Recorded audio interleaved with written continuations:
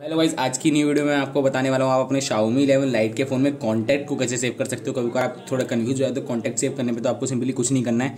यहाँ पे आपको नंबर पे यहाँ पे कॉन्टैक्ट फ़ोन पे आ जाना है, ठीक है? यहाँ पे अपना नंबर डायल करने से मेरा eight five eight six zero one four eight इसके आगे नहीं बताऊँगा, ठीक है? तो यहाँ पे सिंपली यहाँ पे क्रिएट न्यू का ऑप्शन आता है आपको, यहाँ पे क्लिक कर देना है, ठीक है? यहाँ पे आपको, मेरा ऐप लॉक लगा तो मेरे को ऐप लॉक भी डालना पड़ेगा, ठीक है? यहाँ पे आपको सिंपली यहाँ पे डिवाइस अगर आप डिवाइस में करना चाहते हो तो डिवाइस में कर सकते हो। यहाँ पे आपको जो आपका नाम उस बंदे का डालना चाहते हो, डाल देना है, आपको नाम डाल देना उसका, ठीक है? नाम डालने के बाद सेव पे क्लिक करते हैं, आपका नंबर सेव हो जाएगा। अगर आपको वीडियो अच्छी लगी तो वीडियो को लाइक और चैनल को सब्सक्राइब कर देना।